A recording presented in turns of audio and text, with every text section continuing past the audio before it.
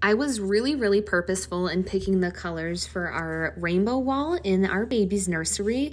I got all of the colors from Home Depot. I looked at the colors for weeks and then ended up actually going back and changing some of them. So this is what I ended up. The first color you see is gonna be the original color and then the second one is mixed in with 50% white to get that lighter shade. The first pink you see is called Little Princess and then the second, a little bit more orangey pink is called Infatuation and the orange orange is called Lollipop. Also, just a quick note that this wasn't terribly expensive with paint because I did get the sample size of all of these. The perfect yellow I found was called Banana Mania, and then the light green is called Tonic, and then the blue that goes underneath this is called Balboa. At this point, I realized that my math was wrong and I had to actually create my own blue, so I made a little bit of a periwinkle color.